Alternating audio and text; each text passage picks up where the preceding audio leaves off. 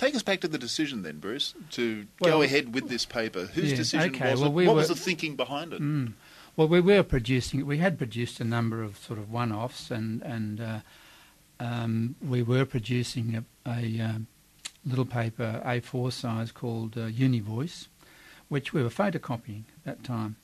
We ultimately became a department in 1991, and I was the first head.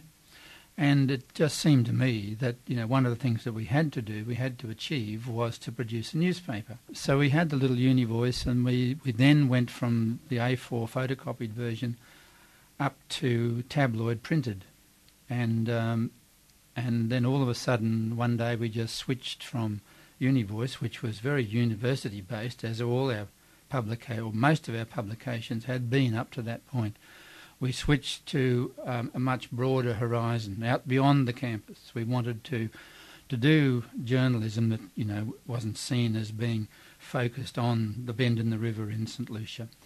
In an institution such as this, all of the the people who are doing the research work that they do and doing the teaching that they do, you know, have one mantra, one motto, and that is the search for truth.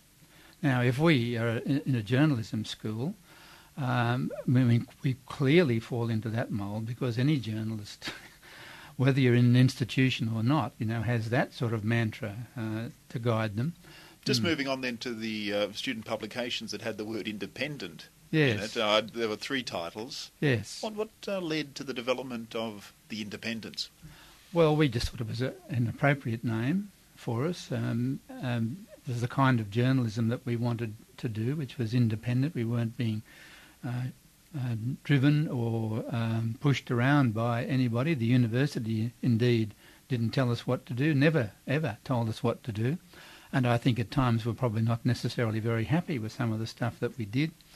But the university was always very good about um, uh, those issues. Um, and of course, as I've, uh, uh as I've um, said from time to time in other places, we got tremendous pressure um, exerted on some of the students for the stories that they were doing. Yeah, I was just about to ask. You know, there were yes, stories we, that you really broke uh, new ground on. Well, what, the, were, what, were the pressures, and what were some of those stories? Take us through them. Well, the uh, the first one that we encountered was the first edition of uh, um, the Weekend Independent in May 1992. It was a, it was just a really good story, I thought, because um, I'd gone into a class and I'd said to this group of of postgrads in their first semester. I want you to, you know, as part of your assessment in this semester, I want you to do a whatever happened to story. The example I gave was of Bob um, Campbell and Kingsley Fancourt, the two honest policemen who'd stood up on ABC television in the 80s uh, and said there was a corrupt rat pack at the uh, at the highest echelons of the police force. Later, later to be vindicated in the Fitzgerald to, inquiry. Exactly. Um, I mean, but they were driven out. They left town uh, they were pilloried in Parliament and they left town. Now, the Fitzgerald inquiry came along but never called them. Anyway, uh, this one of the students in this group, uh, in a most extraordinary exercise in investigative journalism, it would take uh, several hours to tell you, I won't, but he found them both.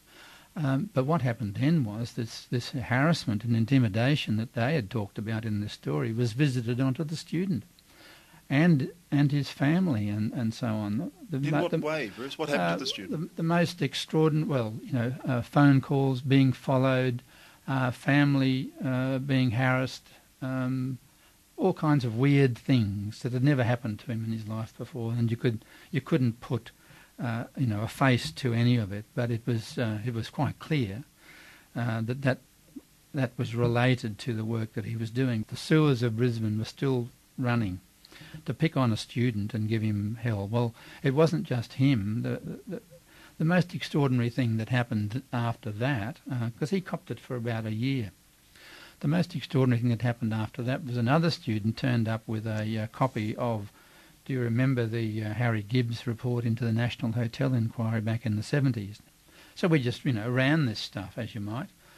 And lo and behold, the same kind of uh, treatment that uh, the that the uh, guy who found Campbell and Fancourt had received was, was then visited onto uh, this girl.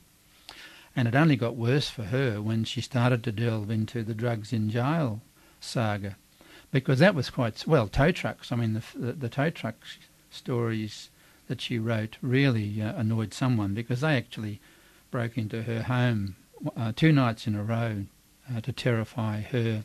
She got threats, no doubt, you know, quite blatant threats. I, I, I remember writing uh, little pieces in the paper just to alert the public that we were copying this stuff. The kids wouldn't back off, and that was the wonderful bit. They they just made it quite clear that uh, we're not never. They never flinched. They just never flinched. Not one. Not one. And um, um, in the case of the drugs in jail, I mean, you know, it was a straight out. That was a straight out threat to uh, to harm that girl. And Bruce, you're probably best known for your dedication to the story called Shreddergate. Is yeah, we a, coined that word. Is this a, a, a personal? Uh, no, it's not. obsession. Yeah, no, it's not. A, Bruce it's, Grundy. It's not an obsession at all. It's a story that uh, that that has to be told because uh, what happened, you know, at the outset was a government did something that it should not have done, and no one has ever paid the price for that. And hidden behind all of that, of course, we've discovered since, was serious abuse, including sexual abuse of uh, of kids in the care of the state, and no one's ever paid the price for that either. What happened to the reporters who uh, delved into those mm, stories? well, I think also just the general sort of uh, the, those students who were working on the papers. Did, did most of them go into journalism, or do you think that they had enough at that stage and uh, well, some, some moved some, away? Some did and some didn't. The one who did the Fancourt Campbell story didn't go in uh, to journalism; went into the the academy uh, and has done very well. The girl, um, I think in those days, uh, I think they hired her outright as not even not certainly not as a cadet or a minor grade, as a senior graded journalist, because I mean she was she was just quite special. Um, but most of the others who wanted to, anyone who's ever wanted to, has, um, has gone into the business. Some of them immediately, some of them took longer. Looking back, mm. on all those publications and your role in it, what do you think the students learned? Well, I think the students learned um, uh, a, a, a, good deal about what uh, the media is for. I think they learned a good deal about government, that uh, they're putting your, your, your faith blindly in governments to do, or in, in fact in, in, in anyone to do the right thing, is not necessarily um, uh, well placed because they all have a capacity to blow up sometime. And there's an essential need for someone, i.e., the media, to be out there keeping an eye on things. Now, we don't obviously keep an eye on as many things as probably we should, but there are limited resources. Now, what did so, Bruce Grundy learn? Oh, I learnt uh, the amazing uh, ability of young people to do uh, enormous things um, if just given half a chance. And uh, they were, uh, uh, over these years, an absolute delight to work with. They were so committed. Uh, they're so talented. They're so bright. Their writing, if it's just an ordinary news story, is spot on. And then when you got to their feature writing, I mean, they're, they're such good writers. You know, scary to have to sit there and mark their stuff, and you think, oh boy, if only I could write like this. so, so yeah, they taught me uh, an awful lot. But uh, just being part of that operation with them was was great experience and great fun. 2006, the school celebrating its 85th mm-hmm. anniversary. What does it mean, do you think, to the school, to you? Um, well, uh, um, this is this is of course is the first institution in the country to, to have a journalism course, uh, and uh, that's uh, a mark in its favour. Uh, it took the others a long while to catch up, even though it was 50 years before it changed from a diploma to part of the degree program. Looking forward, what's the future for Bruce uh, Grundy? Are you coming back next year?